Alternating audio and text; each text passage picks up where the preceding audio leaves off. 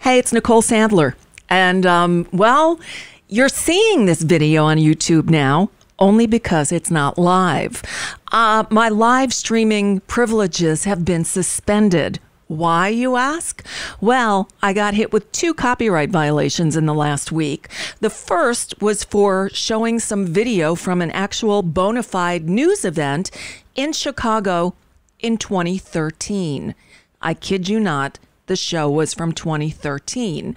I'm contesting it because I believe it's fair use because it was a news broadcast. We'll see. I'm at their mercy. The second one was for a show that aired in February of 2017. I have no idea what it was, but apparently I played a few seconds of a song. And uh, Universal Music Group has blocked me and not only blocked the video worldwide, they took my stream down.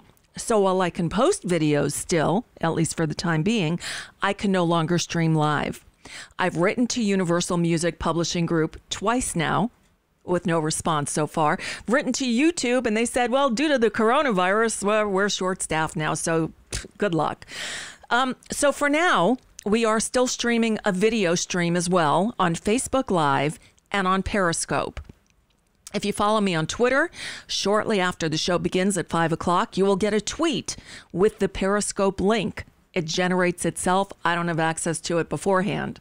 Facebook Live, just go to facebook.com slash The Nicole Sandler Show and go to the, the live, the Facebook Live tab, and it'll be on there. I also post it to my regular face personal Facebook page. So lots of ways to find it. There's always the audio stream as well. If you come to NicoleSandler.com slash listen dash live, I, I, I try to provide all the uh, streams right there, and there's a chat room there as well.